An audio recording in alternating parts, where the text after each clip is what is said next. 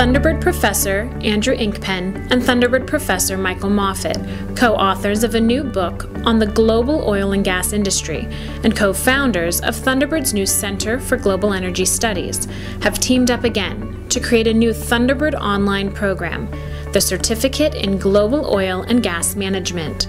This is probably the most global of industries. It's probably the only industry in the world that produces products that are used in every single country in the world and that are needed by every single person in the world.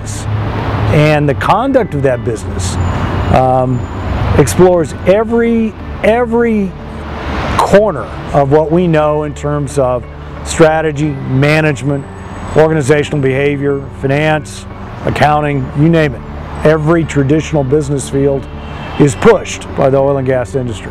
Program participants will study the business side of the industry throughout the global value chain, from lease access and exploration in remote locations such as Central Asia and Africa, to refueling your car at a service station near your home. Well, the online course is structured around the industry value chain, and the industry value chain means the, the, the transformation of products from the upstream, uh, where the product is first uh, captured and discovered, to, to the downstream, where the product is marketed to, to end users. And our book and online course covers the, the value chain from the upstream to the downstream. It requires a tremendous amount of cross-border uh, collaboration, cross-border, cross-language, cross-cultural communications. And that, that inherent global exchange of culture, language, business, and, and interests is what drives the global oil and gas industry and, and therefore is, is, is, an extremely natural fit for uh, the chemistry and, and promise of Thunderbird.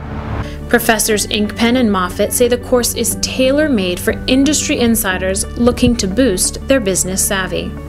Well, the oil and gas industry hires a lot of people, most of them directly from engineering schools.